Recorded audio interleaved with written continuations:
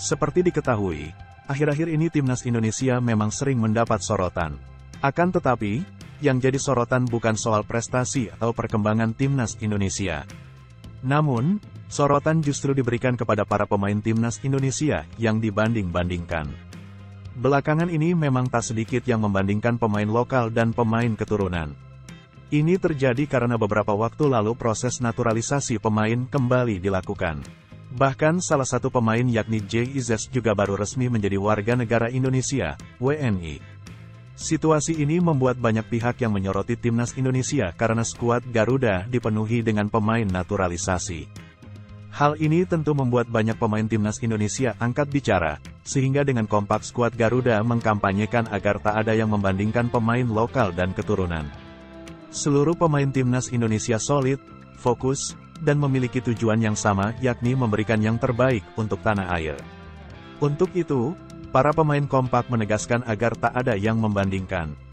Mari hentikan membandingkan pemain lokal dan pemain keturunan, tulis Rafael Struik, begitu juga Asnawi Mangkualam, sebagaimana dilansir dari Instagram pribadinya, Kamis, tanggal 4 Januari tahun 2024. Kita semua di sini adalah satu keluarga dengan satu impian, yaitu memberikan yang terbaik untuk timnas dan rakyat Indonesia, tegasnya. Dalam unggahan itu juga dijelaskan bagaimana perasaan para pemain. Tak ada perbedaan antara pemain lokal maupun keturunan, menurutnya sama tak suka dengan kekalahan.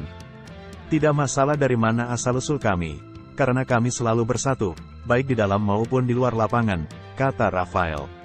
Saat tim kami mengalami kekalahan, kita semua merasakannya, dan saat tim menang, itulah kemenangan bagi kita semua, lanjutnya.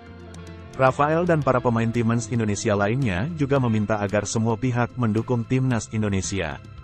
Untuk itu, mereka juga sama-sama memiliki tekad untuk bisa memberikan yang terbaik buat tim kebanggaan.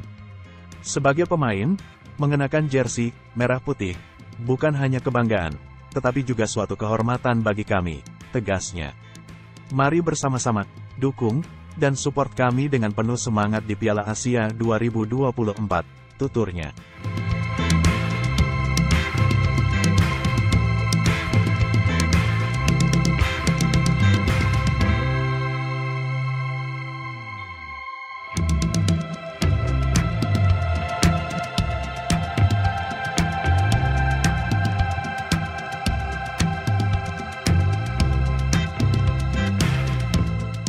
Download Tribun X sekarang. Menghadirkan lokal menjadi Indonesia.